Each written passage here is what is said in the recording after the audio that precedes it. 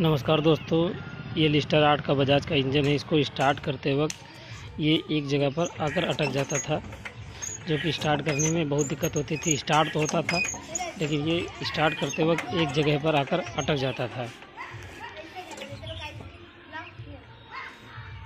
दोस्तों, ये दिक्कत तभी आती है जब ये टैपेट गड़बड़ करती है। ये बजाज का इंजन है।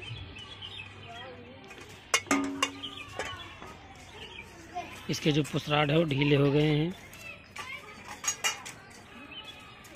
जिससे कि कंप्रेसर सही से नहीं इसका कट पाता था, जिसकी वजह से इंजन टाइट आता था एक जगह पर, जहाँ पर कंप्रेसर कटता है।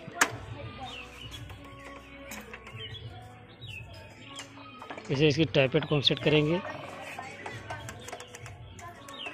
देख सकते हैं कितनी इसमें जंप है।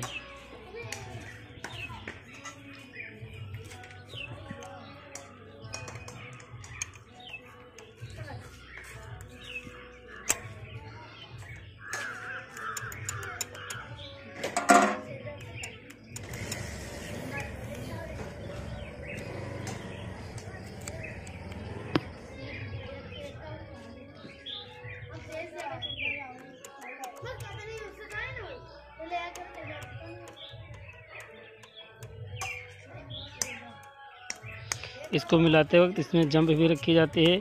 अगर आप ऐसा नहीं एडजस्ट कर सकते हैं तो एक जो ब्लेड आती है काटने वाली, इसको पीछे आप लगाकर एडजस्ट कर सकते हैं। वॉल और टैपेट के बीच में लगाकर।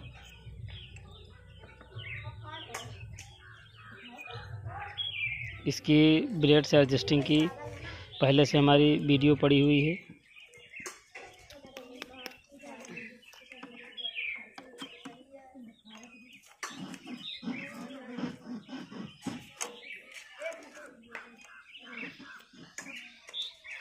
पहले हमने एयर क्लीनर की मिलाई, अब हम साइलेंसर की मिलाएँगे क्योंकि दोनों को सेट होना ज़रूरी है।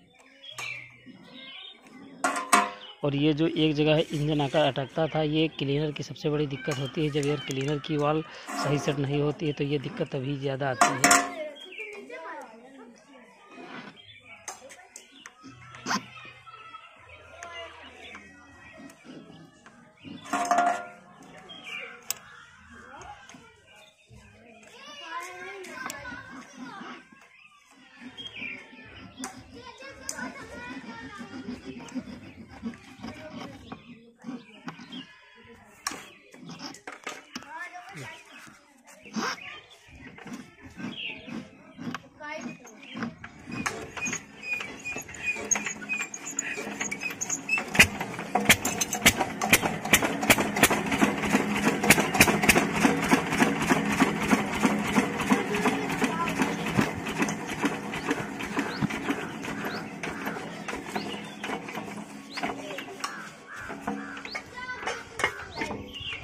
ये दोस्तों दिक्कत तभी आती है जब इसकी टैपेट सेटिंग गड़बड़ हो जाती है।